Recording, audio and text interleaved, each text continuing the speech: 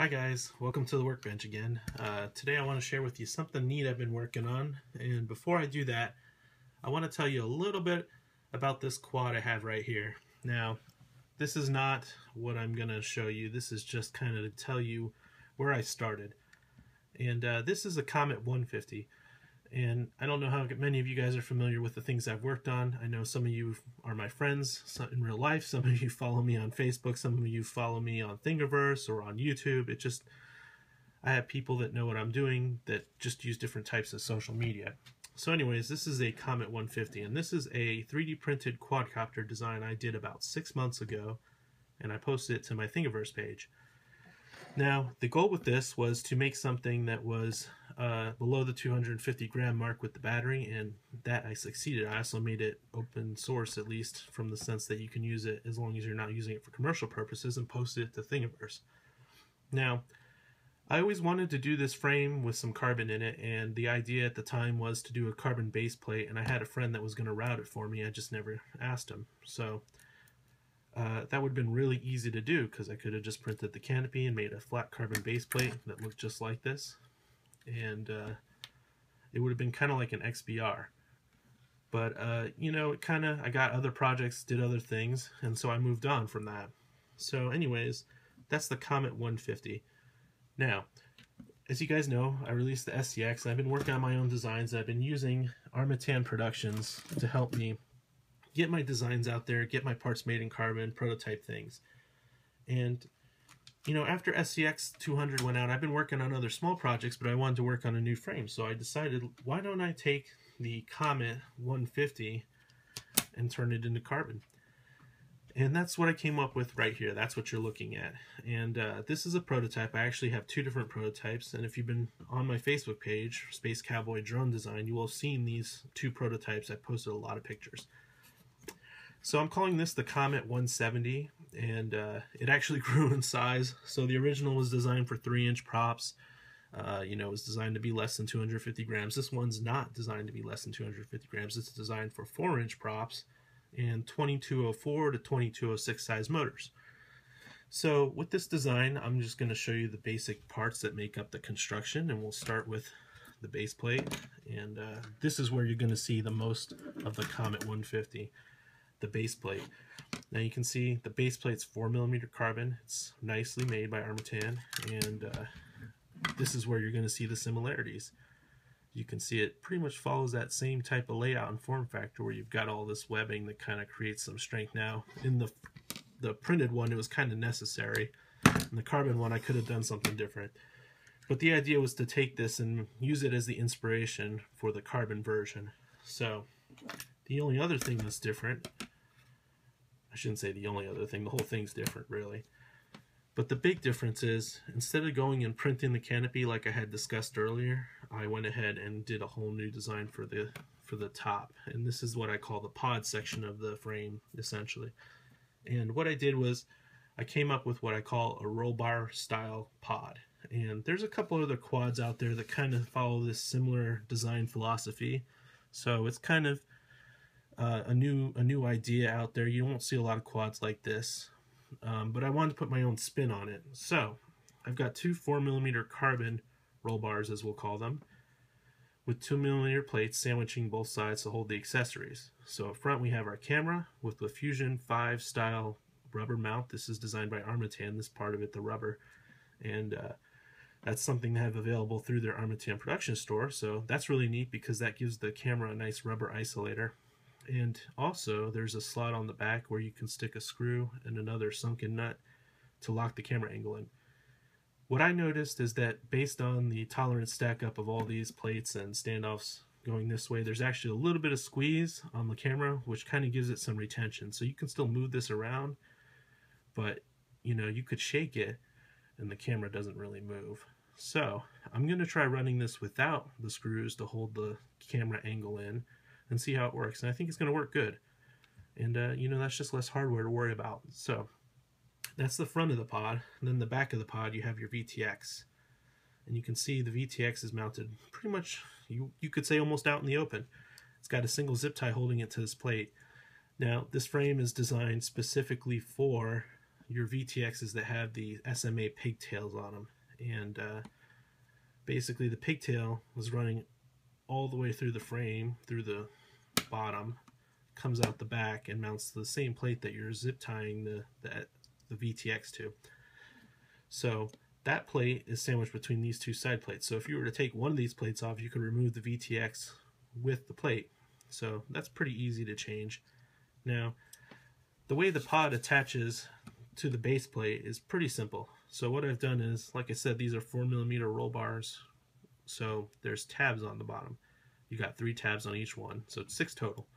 And the tabs drop into match matching ports in the carbon.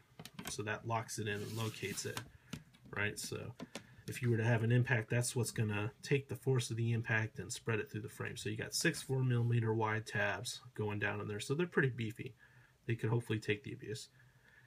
Um, then you have these two smaller two millimeter plates that have sunken nuts, or some people call them PEM nuts, pressed in, and basically matching holes in the bottom of the plate here, here, here, and here.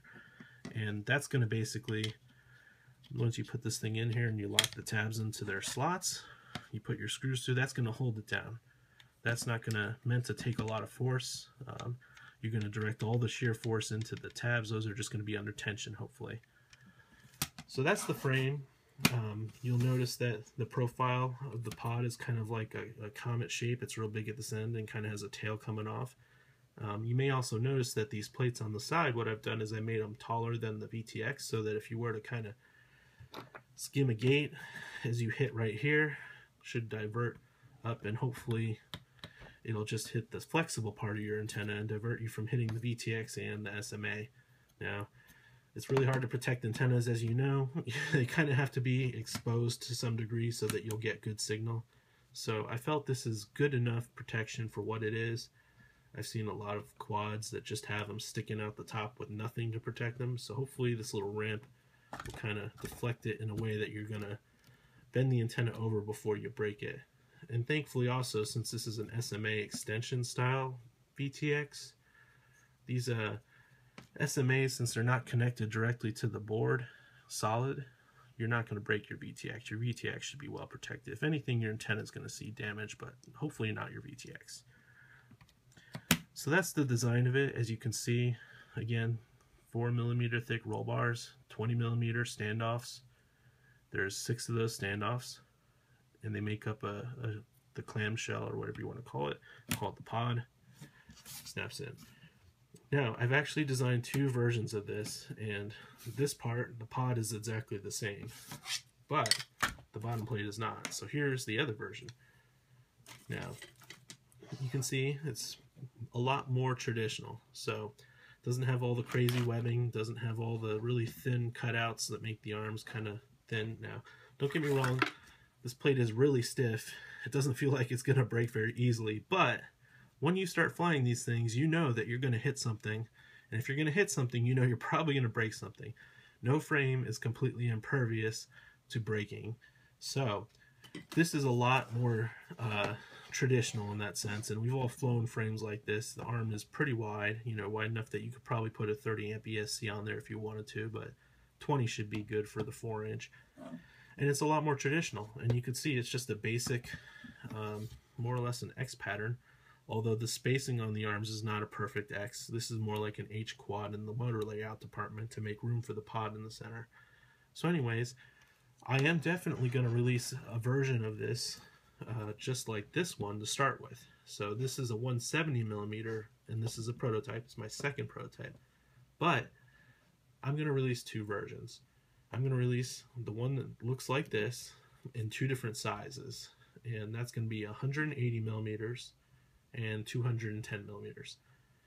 So basically what happened was when I put this thing together, uh, I found that I didn't think there was a lot of clearance between the props and different screws that hold together the pod. And it's really close. Now, I'm using the Epic RC MN2204 2800 kV motors. These are basically T motors, MN series. Um, they're really nice, and I've been running them for a long time. In fact, I've been running the same exact set on several different copters that have gotten pillaged to build new copters. And with these motors and the 4 inch props I'm using, which are HQ 40 40 by 3s, it's fine. It's perfectly fine. Everything fits. There's no prop strikes, there's nothing interfering. But it just made me uncomfortable seeing the props that close to hardware. So what I decided to do was to redraw the whole bottom plate, make it 180 millimeters, and I felt that would give it the necessary space it needed so that no matter what prop combination you use, no matter what motor combination you use, it'll fit. So that's going to be the difference between this and the ones I release. It'll be virtually imperceptible because no one's actually seen a 170 besides me, so no one will know the difference. And it's such a minor change that 10 millimeters across that diagonals, it's going to look the same proportions wise. It'll look just like this. Now, the other design that I released, or will be releasing, I should say, is a 210. Now, the 210, I did at the request of people on Facebook. Um, I posted all these pictures of this frame on Facebook probably about a week, week and a half ago when I got it from Armattan Productions. And a lot of guys were like, hey, you should make a 5 inch version. You know, a 5 inch would be really cool, you know, yada, yada, yada, etc. So I thought to myself, you know, that wouldn't be that hard. So I went ahead and I redrew another base plate with 210 millimeter motor spacing for 5 inch props. And it'll be exactly the same pod in the center so it'll fit the same components it'll be the same relative size and of course the arms are just longer. So proportionately it'll be a little bit different looking. It'll have the same overall shape. The arms will be longer to put the motors and the props further away so that everything fits. So those are the two versions I'm going to release on Armattan Productions and that brings me to some other cool news that I have to share. Alright, so one last thing that I want to tell you guys about that uh, I think is kind of cool. Now I've been using Armattan Productions to help me sell my frames and anyone can upload to Armattan Productions and you can basically upload your files and kit them up and sell them. Um, and that's made it affordable for me to offer the frames to other people because quite honestly, you know, you don't know how many you're going to sell and so investing in a big batch is a big risk. But I think things have been going well enough and I think there's been enough interest in things that I've decided to take some of the my own money basically and reinvest it into making the product a little bit cooler. So what I did was I talked to Armattan and I have a special arrangement where I'm going to have some colored standoffs available for my kits. And basically how this works is Armattan Productions, normally what they do is they offered a bunch of standardized hardware. And for them, they have to go and make minimum orders of that hardware. And it's kind of expensive, but per a standoff or per a screw, it's not that bad. And they pass that on to us by allowing us to kit up our, our uh, make our kits with screws that are affordable. So I've been using their hardware. That's made it really easy, but you know the selection it's, it's for them it's not advantageous for them to go and buy a ton of different colors of standoffs and a bunch of different colors of screws and because they don't know what people are going to use right? So they could go and buy a bunch of purple standoffs like I've been using and find out that no one really wants them. Everyone wants red or blue or green or something, and they end up with a bunch of hardware they can't use that they spent lots of money on. So they don't offer it on Armattan Productions, and that's to keep it affordable for everybody that's using their service and to make it reasonable for them because they can't, you know, they give you such a value service that if they had to buy a bunch of hardware, they had a bunch of unused hardware, they'd have to somehow, you know, recoup that cost, you know? So they they don't do that. And rightfully so. But what I've done is because I thought there was enough interest in this frame and because of how well SCX 200 was received, I decided to take my own money and do a minimum order of standoffs. Now, I'm just going to start off with one color and just one size and it's going to be specifically for this kit and I've decided to purchase 20 millimeter orange anodized M3 standoffs and you're going to need six of those in this kit so it's going to make it really nice. It's going to make it stand out. It's going to be unique to my store. It'll be in my parts listing. So um, I'm going to add that to the kits. So that's already in process. Um, just you know waiting for those to get made. I had to pay for about a thousand of those. So hopefully they go they go well and the kits go and they're gone. Um, but we'll see Now, the only difference between those and what you see here is that I chose to go with just a standard diameter standoff. So it's the orange anodize that's going to be unique. You're not going to have the step down. That adds more cost and more time to having a machine. So I just decided for this trial batch, we'll just go with the straight orange and uh, you'll still get the normal Armattan black anodized screws, but you'll have nice orange standoffs to make this pod kind of blingy. And the reason why I did that was because I feel like so far in the past, my kits have been kind of, um, they've been, my personal kits have been really nice because I've been buying standoffs for myself because I do take a lot of pride in my work and because I want to be unique, I do spend a lot of time, you know, say for example, this Armattan Light pre-production SCX 200, I put red standoffs in it. It normally comes with black standoffs, but I wanted red because, you know, this thing looks sweet. It's all red and black. Similarly, I did the same thing with this SCX 140. I put red standoffs in it because I had some red bottom Emax motors and I thought that looked really cool. I've also got a SCX 140 here I built or took apart recently, but it has blue standoffs in it because it had blue bottomed motors. So I really like to add a little bit of color to my builds. You know, I take a lot of pride in my work. It's almost a downfall because I'm going to wreck this stuff and have to rebuild it. But anyways, I like I like to have a little bit of bling. So, you know, to make that something that you guys can have, and because I always put those type of things in my pictures and in my drawings, I think it's kind of a tease I think it's finally time to offer that, and that's why I went ahead and I purchased a thousand of them, and they'll be kitted up with this frame to start with. And if they're very popular, maybe I'll think about purchasing different sizes and maybe include them in SCX. The only other thing they are going to be included with is the GoPro mounts because just like the Comet, I'm using a 20 millimeter standoff there. And because of what's available on Armattan Productions, I've been using a 16 millimeter standoff with a 4 millimeter spacer to make up 20 millimeters. And so this kit for the GoPro mounts, which is spaced 20 millimeters apart, will include two of the new standoffs. And you can see this is my last SCX that I built up. I haven't maidened it yet.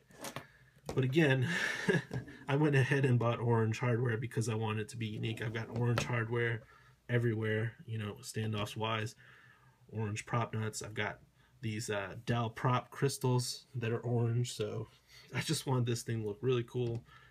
You know, I gotta admit, maybe I'm not the best pilot, but I do pride myself in my builds quite a bit. So anyways, I just want to let you guys know that's something cool I'm doing. And you'll start to see that stuff on the store soon, hopefully in another week or two.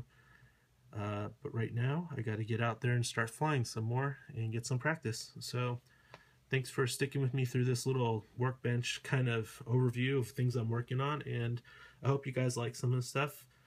Go ahead and leave me your feedback or your comments. You can, you know, like my page. I have a Facebook page called Space Cowboy Drone Design. If you're not aware, that's usually where I post things first. And it's also where I share my progress on all the projects I'm working on the videos I like to do from time to time, but obviously they, they take up a little bit more time, so they're going to be a little bit infrequent compared to my Facebook posts. But anyways, thanks for checking it out, and I hope you guys like it. Bye.